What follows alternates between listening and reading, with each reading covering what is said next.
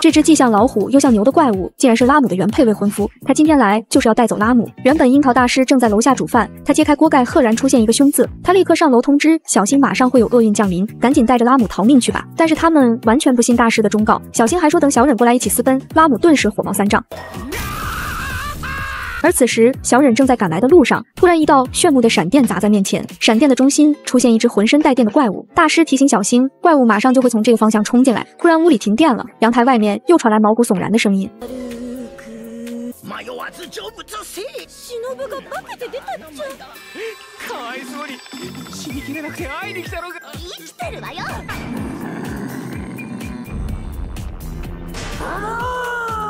小忍说：“这只怪物一直喊着拉姆的名字，所以他就把怪物带过来了。怪物的身体急速缩小，变成了牛星人的样子。拉姆使劲捶打雷伊，让他赶紧回去。小新的妈妈听到动静也跟了过来。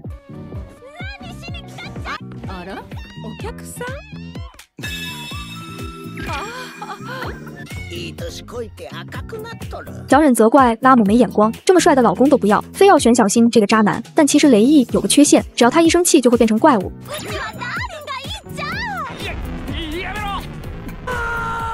小忍觉得这根本就不是问题，只要平时长得帅，哪怕是怪物他也喜欢。就在这时，小新妈妈端着一盘红薯进来了，雷毅竟然捧着小新妈妈的手闻了起来。拉姆告诉小新，他只是对食物无法抗拒，任何食物他都想一人独吞。连樱桃大师都看出来了，这家伙除了长得帅，简直一无是处。拉姆让雷毅放弃追求他的想法。老虎从屁股后面掏出一个人偶和一个存钱罐，他想告诉大家，为了娶到拉姆，他一直在努力存钱。这次雷伊真的生气了，既然解决不了问题，那就把造成问题的人解决了。他要生吃了小新，拉姆带着小新夺路而逃，他们一口气钻进了公园里。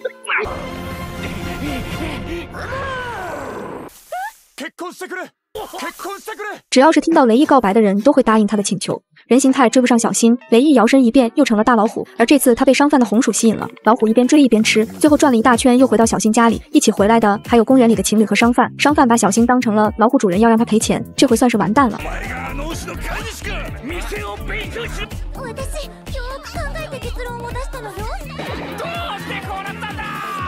这只正在疯狂干饭的胖虎就是拉姆的未婚夫，他最喜欢吃独食。明明今天是想带拉姆回牛心，结果却被大家的便当诱惑了。中太郎想保护拉姆，拉姆却拉着小新私奔。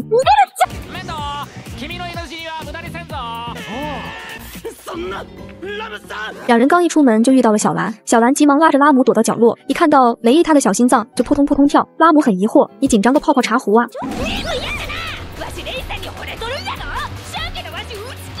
教室里，胖虎还在抢别人的便当。中太郎觉得这个一脸蠢货的东西，凭什么能当拉姆的未婚夫？小心提醒中太郎，这家伙可比你帅多了。刚说完，胖虎的身体急速缩小，变成了人形态。中太郎受到了前所未有的打击，女生们立刻围到雷毅身边，双手奉上便当。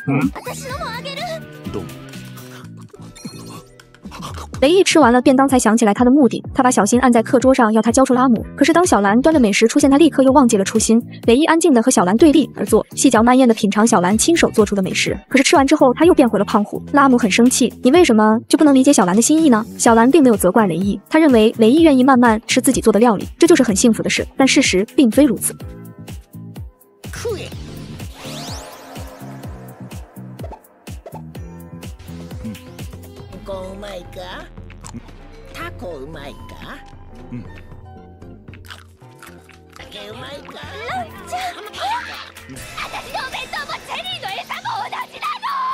拉姆指责雷毅不该让小兰伤心，恐怕小兰以后再也没有勇气面对雷毅。但小兰很快又做了一份食物，只要看着心爱的人吃自己做的食物，她就满足了。吃饱喝足之后，雷毅一飞冲天，消失不见。拉姆开心坏了，终于可以摆脱这只蠢牛了。结果一回家又看到雷毅在大口干饭。Domo. 如果有一天老婆突然消失了，你会恐惧吗？自从拉姆强制认小新当老公之后，小新每天痛苦不堪，在路上和同学交流一下，就会被拉姆当成搞外遇疯狂电击。但随着电击次数增加，小新自带的电阻也逐渐增强，他现在已经开始当着拉姆的面为所欲为。中太郎提醒小新，如果你继续不要脸下去，拉姆可能就要离开你了。奇怪的是，拉姆这次并没有发火，他只是专心做着人偶。他还不厌其烦地提醒小新要记得按时起床。小新怪他多管闲事，毕竟每天早上被粗鲁的叫醒，上学路上还要被电击，这样的跟屁虫早就不想要了。以前一个人。可是很快乐自由的拉姆感觉自己是打心眼里被他嫌弃了。小新想看看拉姆到底做了什么好东西。 見せるくらいやろうちのありがたみもわからないならほっといてほしいっちなんだっつんじゃほっとけとかほっとけないとか勝手なことばっかり言いやがってもう知らんダーリンうちの俺は寝る 拉姆帮他关上灯，然后说了声再见。小新还不知道拉姆这次可能真的要走了。第二天一早，小新就被妈妈温柔的唤醒，他以为拉姆提前到了学校，可在教室依旧没有看到拉姆。晚上回到家，拉姆也没有一起来吃晚饭。小新无意间看到了桌子上的人偶，他顿时有种不好的预感。小新把人偶带在身上，他记得拉姆说过很想看看枫叶红了是什么样子，现在枫叶已经全部红了，但是拉姆却不在了。到了学校，中太郎问他是不是被拉姆甩了，小新却反咬一口，认为是中太郎拐走了拉姆，两人差点就打了起来。最后小新才宣布拉姆失踪了。中太郎立刻呼叫家里的私人警察，海陆空全员出动，他们找遍了人类能够到达的地方，可最终依旧一无所获。小新仔细把之前两人约会的位置搜索了一遍，但是最后奇迹并没有出现。而此时的拉姆早就回到自己家里，原来他只是护照到期了，需要回来更换而已。拉姆还是想回到小新身边，他的父母也没有反对。拉姆虽然不在小新身边，但他留下的人偶依旧在监视小新。此时的小新正在嚎啕大哭，他责怪拉姆不辞而别。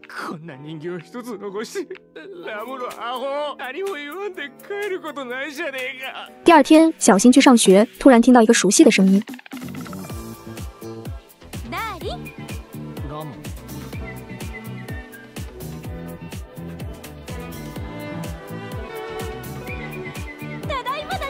だっちゃ小新和拉姆正在街上走着，突然迎面飞来一张姨妈巾贴在脸上。根据上面残存的气味，这一定是个美女。凭借从小养成的灵敏嗅觉，小新开启猎犬模式，他很快就找到了乱丢垃圾的少女。小新想物归原主，牛车里的人让他把手伸出来。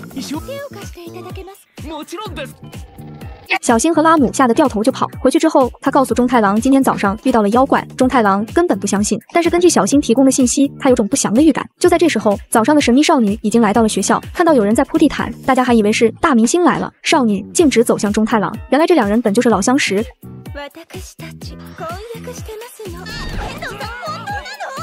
这次班上的女生们感觉全都失恋了。小新想趁乱拐走少女，拉姆一把抓住自家老公。少女猛然想起今天早上见过小新，然后又给小新看了下自己的真面目，小新当场去世。中太郎挣脱了狂热的妹子们，他责怪妹妹不该胡言乱语，惹得女同学差点自尽了。妹妹告诉中太郎，她是来送便当的，因为星期一上学，中太郎忘记带便当了，所以他坐牛车花了几天时间，终于送过来了。当他打开盖子，一股直击灵魂的味道充斥全场，新鲜的生鱼片已经成了烟海雀。妹妹夹起一片生鱼片喂给中太郎，中太郎根本不敢张嘴。妹妹感感觉哥哥太无情了，自己坐牛车颠簸了几天，竟然还被拒绝。小星为了安慰伤心的妹妹，她觉得自己可以吃光这些食物。拉姆夹起一块就要塞进小星嘴里，既然你不知死活，那我就送你一程。妹妹却一把推开拉姆，她要亲自喂小星食物。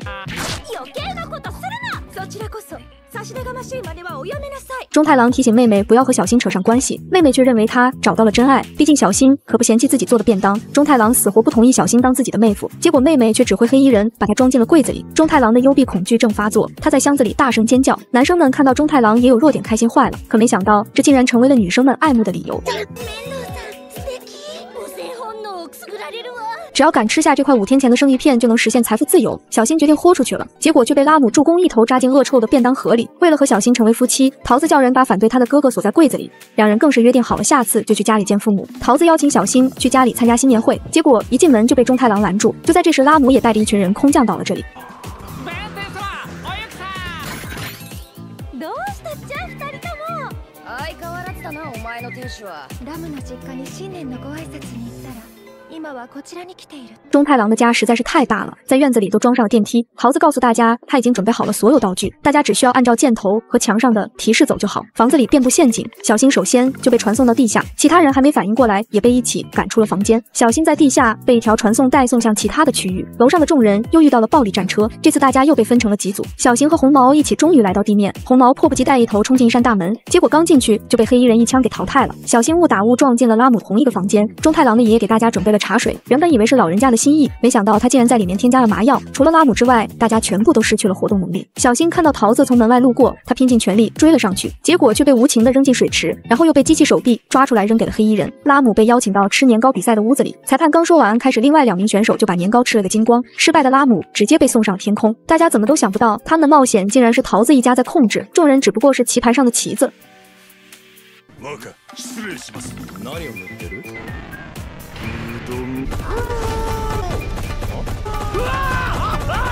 游戏的最后，小新和雪女终于得到了新年压岁钱，可这个压岁钱差点就把两人压成了粉末。爷爷还想忽悠外星人，地球的压岁钱就是要把人压碎。雪女生气了，直接把整个屋子冻了起来，大家被迫陪桃子玩了一整天，一个个全都虚脱了。最后桃子还把他们绑在烟花上发射上天。わわわ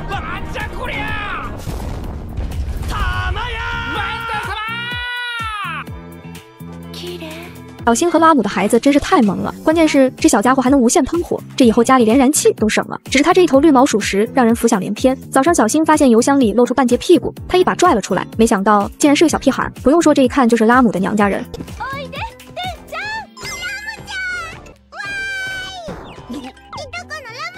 今天小新要去给樱花老师拜年，拉姆非要抱着小天一起。小新想把小天扔了，岂料小屁孩竟然先发制人，直接把小新屁股点着了。无奈之下，只好带着小天一起。可小新也没料到，这小屁孩竟然比自己还会哄大姐姐开心。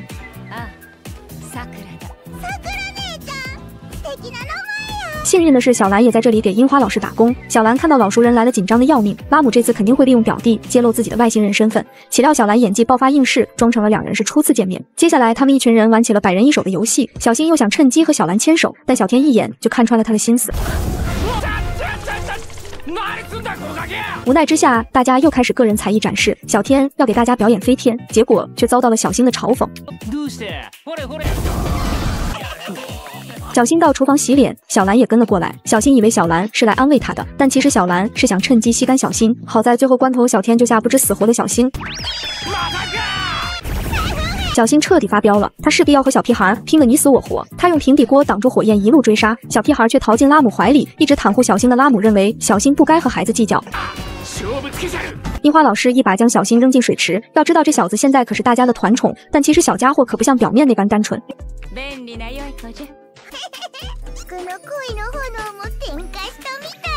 绝对是最离谱的姐弟恋。外星小屁孩和巫女姐姐第一次约会，他竟然带大姐姐看爱情动作片，谁都想不到这么可爱的小屁孩竟然是老司机。樱花姐姐只是摸了下脑袋，就点燃了小天心中的爱恋之火。她用了三天时间为樱花写了一封情书，想约她见面。小新看了之后直接否决，很明显小屁孩完全不懂约会流程。小天当场磕头拜师，请小新帮他写情书。可单纯的小天哪里知道小新写的有多龌龊？很快，樱花姐姐就收到情书。虽然樱花收到的情书不计其数，但是这绝对是最下流无耻的一封。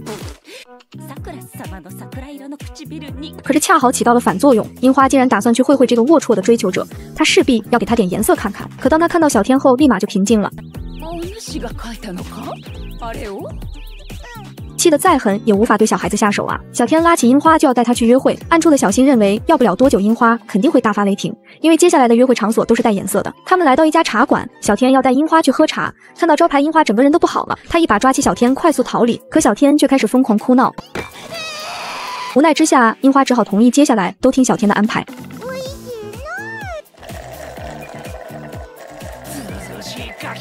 小天要带樱花去看电影，可是看到电影宣传海报，樱花就感觉不对劲。ダメ絶対ダメ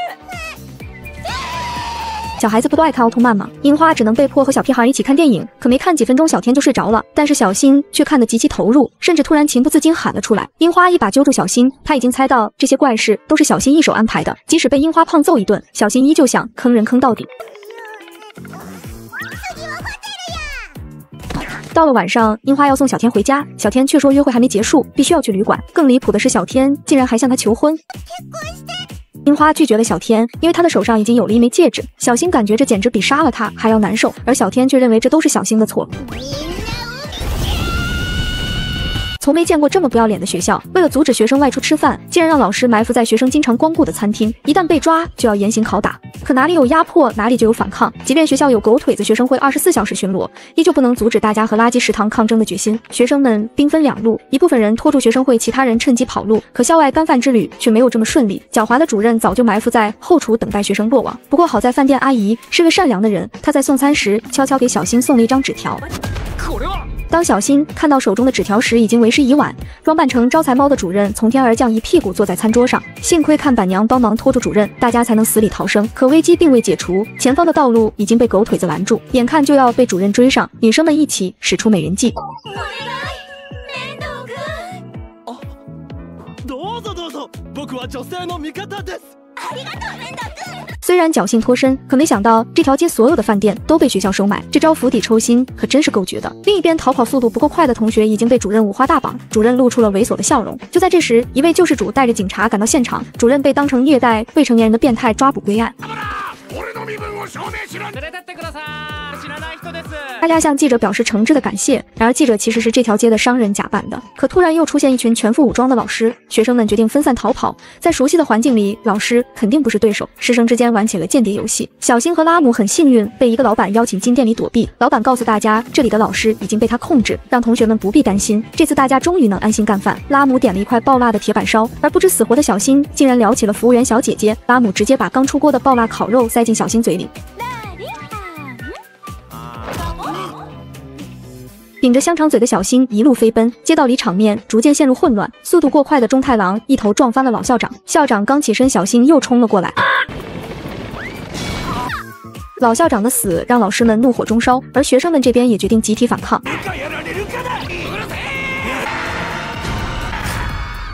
最终，学生们凭借数量优势取得了压倒性胜利，但主任依旧不服。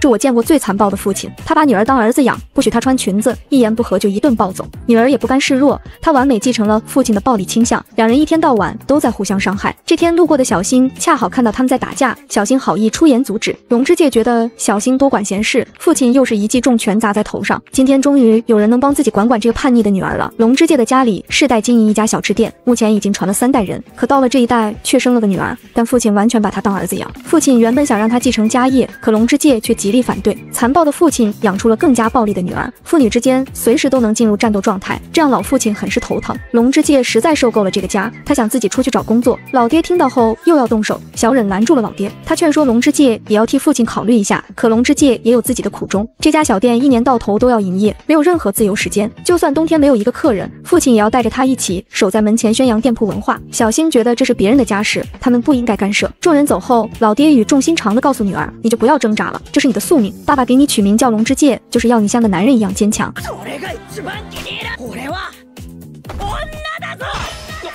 本来要走的小新和中太郎听到后，立马杀了个回马枪。他们这才发现龙之介有种别具一格的美。小新的态度立刻转变，他必须要为可怜的少女主持公道。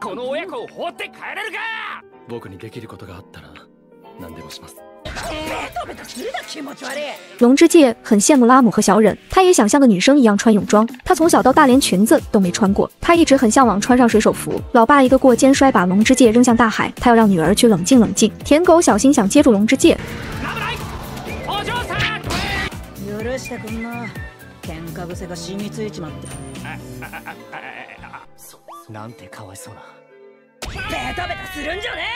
为了让小新帮忙消除父女之间的隔阂，老爸请小新他们吃了一顿大餐。龙之介吐槽老爹不该让外人插手，老爹又是一拳打了过去，可这次却两败俱伤，两人一起倒地不起。以自己多年的追女生经验，小新感觉他们没办法消除这对父女的矛盾，于是他们想出了一个最简单的办法，大家一起直接用大铁链子把两人捆了起来。小新以为这样他们就没办法打架了，岂料两人战力爆表，直接把家给拆了。从日出打到日落，父女俩依旧是元气满满。能让舔狗之王小新投降的女人，果然不简单。这是一颗超牛逼的派大星，被他选中的人可以实现三个愿望，而且过程简单快捷，只需要在五角星纸片上写下自己的愿望，然后塞进派大星的嘴里就行。今天小新一家被银河系评选为幸运穷人，派大星就是来替他们实现愿望，但小新妈妈却大吼着让派大星滚出去，他才不需要别人的施舍。拉姆问他是否真的能实现愿望，小新妈妈却说这肯定是诈骗，这直接给派大星整双 Q 了。他转身就准备去下一家，可小新的爸爸却把他叫住：“你把别人房子砸烂了就想这样离开吗？至少也要把房子恢复原样。”派大星觉得一走了之确实不对。对他从魔法棒上撕下一张贴纸，让小新爸爸在上面写下愿望。小新爸爸写好之后，一脸懵逼的把纸片放进派大星嘴里。他一番咀嚼之后就吞了下去。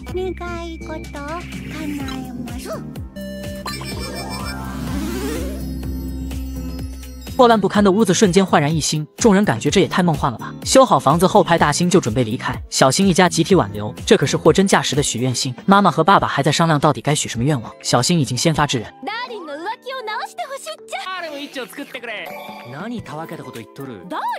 在两人争论时，一张纸片已经悄悄塞进许愿星嘴里。星星挥动魔法棒，变出了一盘炒面。第二个愿望就这样被秃驴樱桃给抢走了。小新一家火冒三丈，当场就把樱桃大师锤得满头大包。他们想取消刚才的愿望，可愿望一旦实现就不支持撤回。现在就剩下最后一个愿望，一家人决定好好想想再去许愿。一向自私的小新突然态度转变，他愿意把最后这个愿望留给其他人。小新让他们慢慢想，他先带着许愿星去卧室休息，但这可瞒不过心思缜密的妈妈。她一眼就看出小新要图谋不轨。老妈以保管行李的方式骗走了魔法棒，她以为没了魔法棒，小新就无法许愿了。岂料小新竟然自己捡了一个五角星，他刚写好愿望，结果却被拉姆给毁了。小新也不甘示弱，他一把夺过拉姆的五角星，撕成碎屑。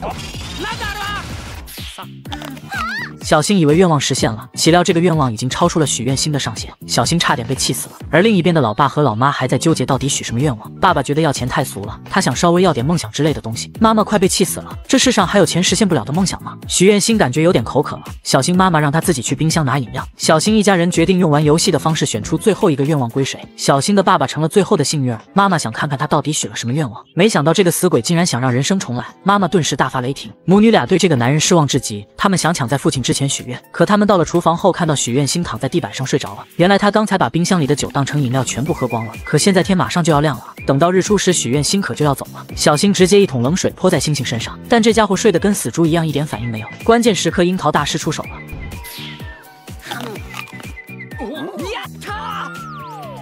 じゃあそういうことで就这样，最后一个愿望也用掉了。许愿星撞破窗户，一飞冲天，消失不见。三个愿望都实现了，可一切似乎又回到了原点。